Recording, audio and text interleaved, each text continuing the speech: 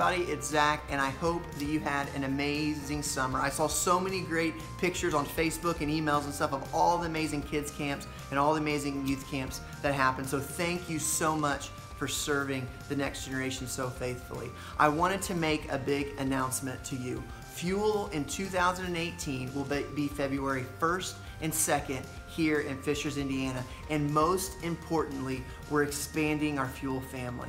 Fuel will no longer be just for youth workers, but it'll be for kids workers as well. It'll be a next gen conference, and our theme this year is going to be Better Together. So if you're in kids ministry, you're in youth ministry, you do anything with those families, please come hang out with us at Fuel February 1st and 2nd here in Fishers.